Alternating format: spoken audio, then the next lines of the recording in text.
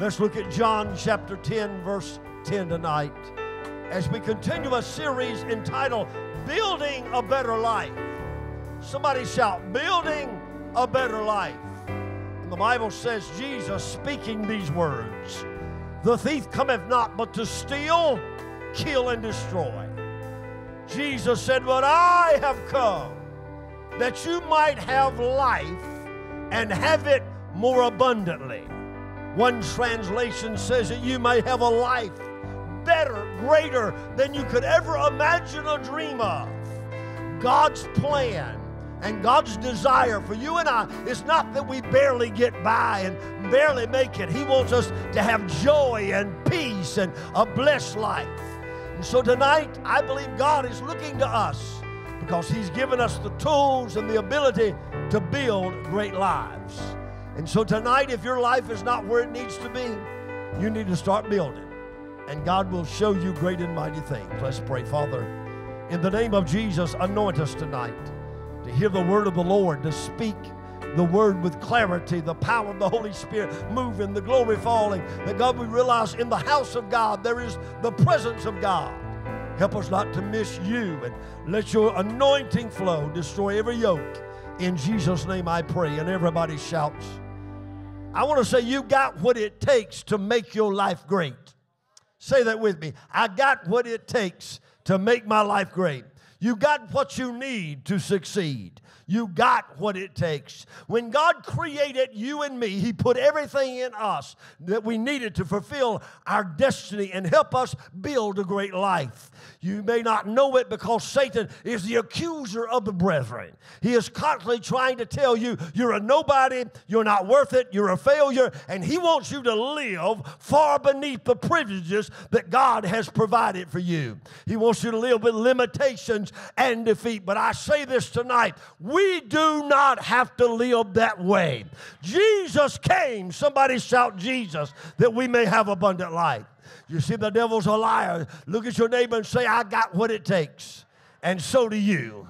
See, God is a strategic God, a God of planning and design. He has a great design for your life. He is concerned with how your life is and the way you live.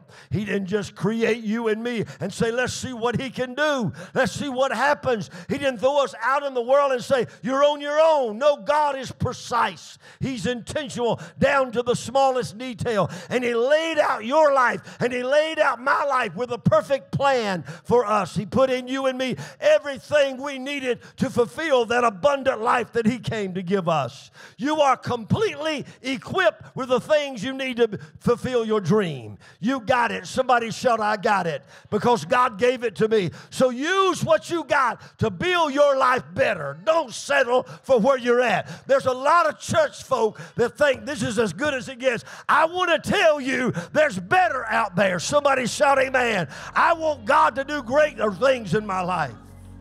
Amen. You know, we were talking about my surgery and, and how that uh, uh, the, the new hip, I said, I got a new hip and I got a new lease on life.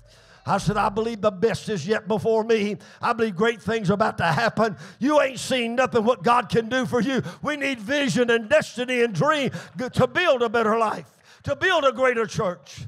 You are completely equipped with the things you need to fulfill your dream. No wonder Paul said, I can do all things through Christ. Paul knew what God had put in him.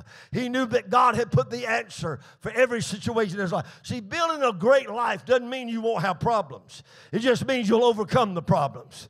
God has already put in you and me uh, everything we need before it ever happened. He's already put a doorway escape before we have to face that door. He's already provided healing before I'm sick. He's already given me victory before I even have to go into battle. Whatever I have to go through in life, I have the grace of God God in me to go through it and come out victorious over death, hell, and the grave. That's a great life. A great life is not having, not having problems. A great life is overcoming your problems. Whatever happens, I have the ability to survive it. Somebody shall survive it. God put it there. You know, no one really knows what they'll have to face in life but you can know whatever it is, you are equipped by God to defeat it, overcome it, be triumphant, and win in Jesus' name. You are fully loaded and completed and equipped for life that is set before you. So get this whatever happens, you got whatever you need to handle it. I don't care how big and bad the devil thinks he is, you got power over all the power of the devil. Somebody help me right here.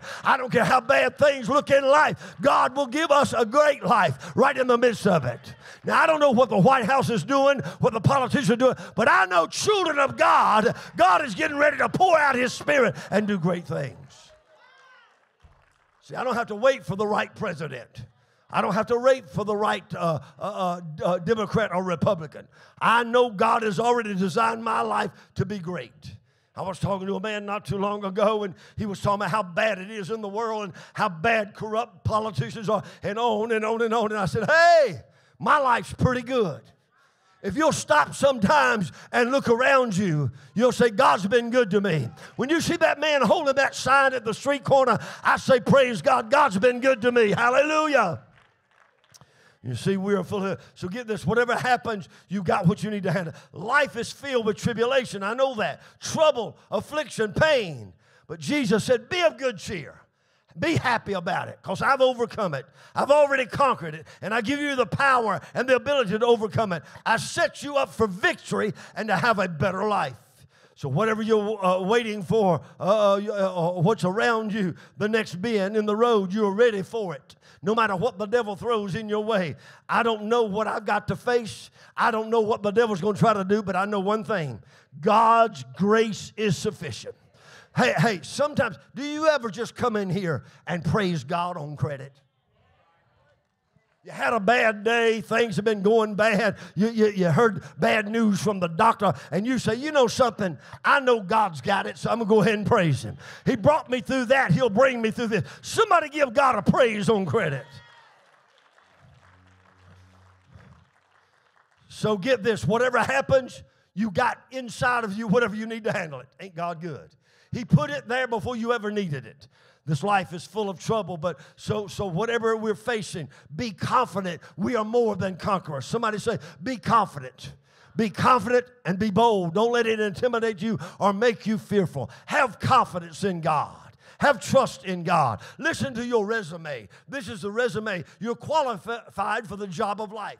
You got what it takes to walk through every valley, to weather every storm, to go through every furnace hell designs and come out victorious. You got the power to part every Red Sea and walk on dry land, defeat every giant, overcome every obstacle, move every mountain, and win every battle. Can God get an amen out there? Put every demon under your feet, drive out every sickness, every disease, quench every fire of the wicked, put every enemy under the run, and overcome every temptation. Somebody ought to shout, Hallelujah. We have the ability to face every challenge, endure every trial, every hardship, pass every test, and finish the race with victory and joy. Isaiah 43 1 says, The Lord says, I've redeemed you. Let me basically give you what that says. I have set you up. I've called you by name, equipped you. You are mine. So when you go through the water, it will not overcome you. When you go through the rivers, it will not drown you. When you walk through the fire, it will not burn you. You will still have a great life with all kinds of hell going on around you. The scripture says, We're in the world, but not of the world. The world cannot limit us or stop us or defeat us. Is anybody getting that? I said, The world cannot limit us or stop us or defeat us because the weapons of our warfare are not carnal through God, they are mighty through God. And we are fully equipped for whatever the devil puts or throws in our life. Remember, no weapon hell forms against you shall prosper. See, that's a good life. That's a great life. Nothing can, can, can, hell can do can defeat you.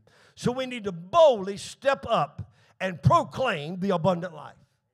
Now, here's what you got to say to yourself I'm going to be happy. I have decided whatever hell I've got to go through, God is still good to me. God is blessing me. I don't know why I'm facing what I'm facing, but God's been good to me. Can anybody look back over your life and say, God has been so good to me? I praise Him, I praise Him, I praise Him. When you can learn to do that when you're facing uh, uh opposition, realize God has anointed you and provided you to become everything He's called you to be, to activate that anointing, to be fearless and bold and confident. Have the attitude, Satan, you're not going to defeat me. When, when problems come, say, say, Devil, I know that's a problem, but you're not going to defeat me. I, I know that's a storm, but you're not going to overcome me. I, I know hell is hitting me, but God has got me in the palm of His hand. I'm coming out of this. Can I ask anybody, anybody ever come out of anything? Give God praise. God said, You're going to pull down strongholds and storm down the gates of hell and walk in liberty and freedom and victory and taking back everything the devil ever stole from you. Can I tell you this? Are you ready? This is good. Your best is not behind you. Your best is before you. Things are about to get good around here. Give God praise. Don't get your eyes distracted by stuff that's going on. Look far beyond that and see the hand of God working right in the midst of what hell is trying to do. Because your life is a setup. Through Jesus Christ, you and I have been set up for success, for victory, for healing. We are winners and overcomers. Life is a setup. Somebody shout, We win. Nothing can defeat us. Nothing can overcome us. Nothing can keep us down. I read the last page of the book and it tells me God's people win. Now, don't get distracted. Hear me now. Don't get your eyes on other people and just uh, be the best you can be. Because one time the writer uh, of Psalms, I believe 61, uh, got his eyes, or 72, got his eyes on his neighbor. And he saw all the wickedness they were doing, but they were being blessed, it looked like. And he took his eyes off himself.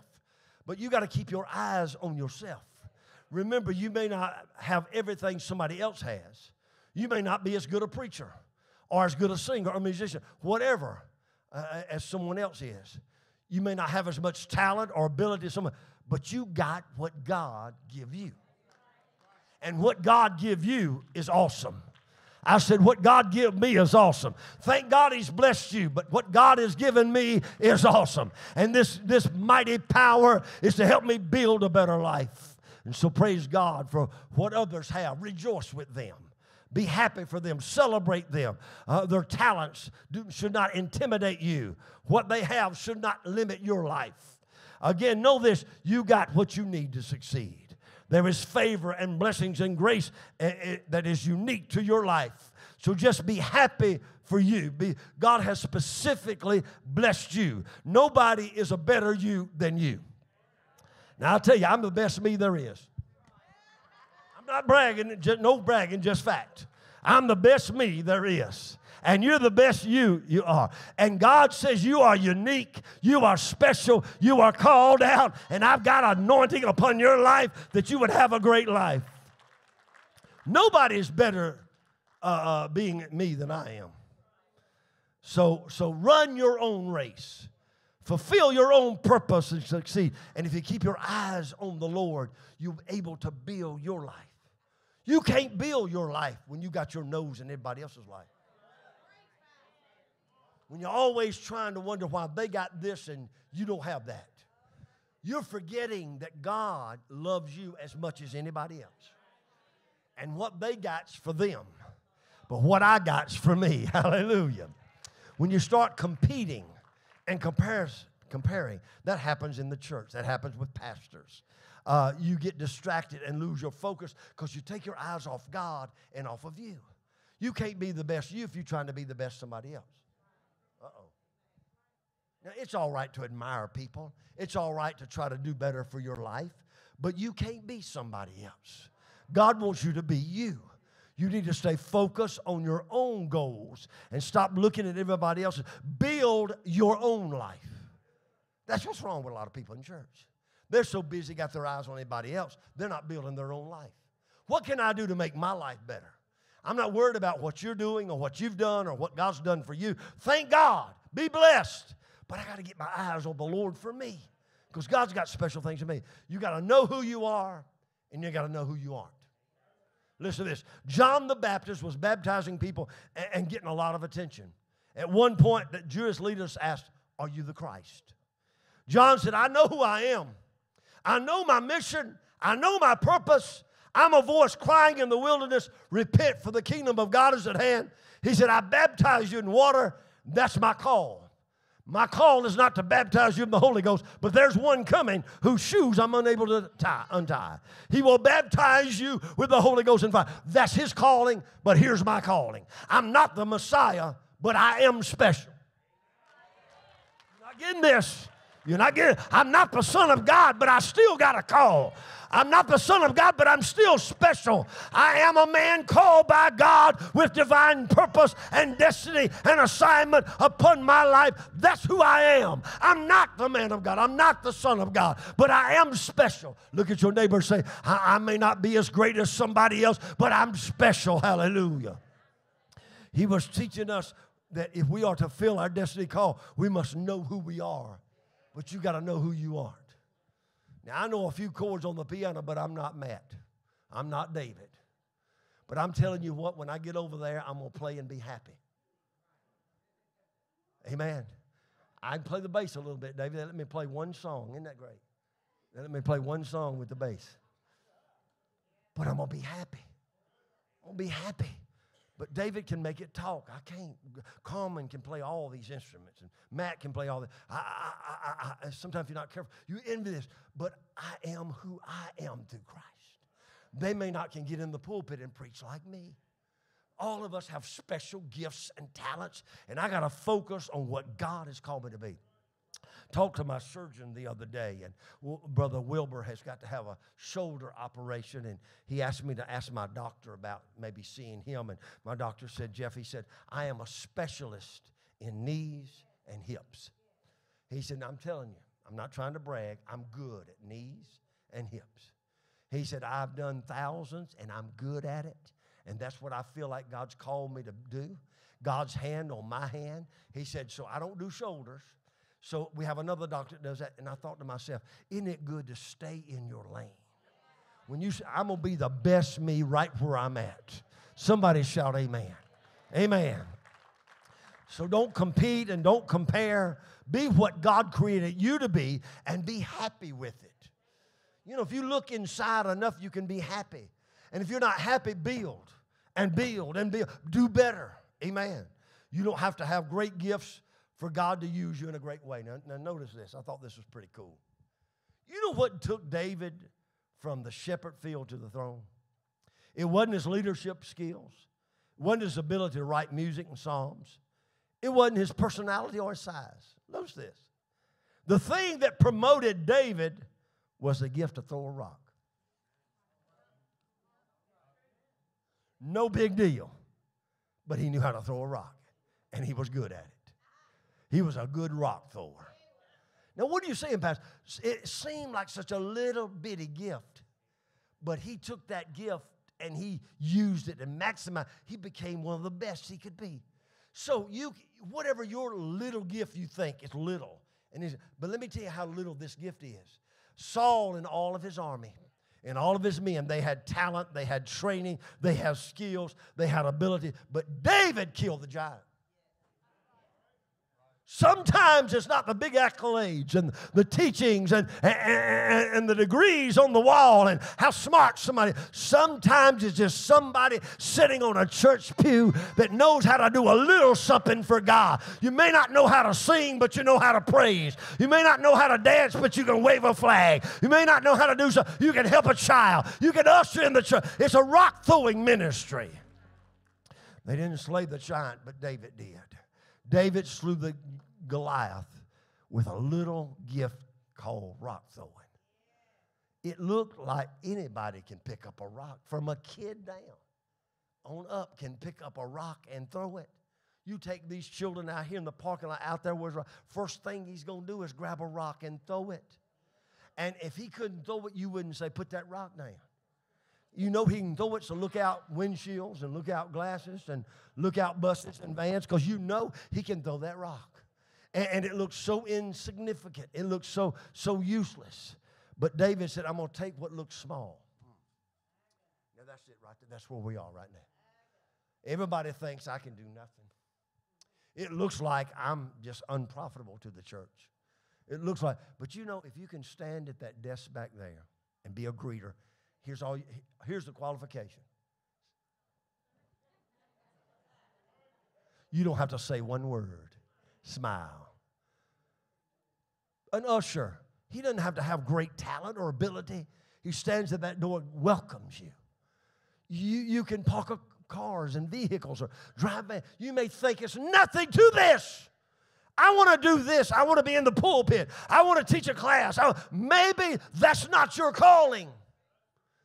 But you may have a rock throwing calling, a small, insignificant, nobody appreciates. You know, I think about, and I say this a lot, I think about Mark King sitting back there. I don't know if I've ever heard Mark teach a Sunday school class, preach a sermon, sing a song. I don't know. Maybe you have, Mark. I don't know. But I know one thing that boy can do but as good as anybody ever seen. He can smile and hug you and say, I love you, and make you feel 10 feet tall. Now, Mark, a lot of people might think that ain't nothing. But I thank God the times I've come in here and I may have been down and out, and I may have been uh, restless or whatever, going through, and that guy has met me, and you cannot shake his hand. You ain't gonna shake Mark's hand. He's gonna hug your neck, and he's gonna lift you up and say, uh, "You know what he always tells me? You don't look a day older than when I first met you at the old church." Oh, that, that's a great gift, Mark. Hallelujah. That takes a great anointing. Hallelujah. But but just being good to somebody. You know, you know, Harvey has talked to me several times, and he said, Pastor Jeff, he said, you know, my legs are getting weak, and he said, uh, you know, maybe you need to look at getting somebody else to do the hymn song or or, or introduce you. And I said, Harvey, as long as you can crawl out there and show your face and smile, it's going to do something. Am I, am I preaching? Just last year, or maybe it was this year, Harvey, when they buried Sister Abbott, Milton and Henry's mother, they called and said, We want Harvey Harris to come and lead the congregation in singing. It's something special. Thank God for good praise team music, contemporary music, but he'll get up with an old red back hymn book song. And he brings us back. I don't know if y'all were at, at fellowship meeting, brings us back to when I was a kid and how the old folks used to get up there and sing with all their heart the good old songs of the cross. And hey, hey, I'm not knocking any of the music, but it's something, it's valuable. And the church needs that, Harvey. It needs you up here. It needs you make. I, I, I know. I, I know that, that the enemy would say that's such a small thing. That's and it, we, we got better singers. We they can sing this and that. But but something about you, God has called you and chosen you to grab a hymn song and, sing that song with such intensity and such sincerity that before we ever get into the service, we feel motivated by the power of God. There is nothing ordinary about your gift. Did you hear me? I don't care what your gift, there's nothing ordinary about your gift. And your gift helps you build a better life.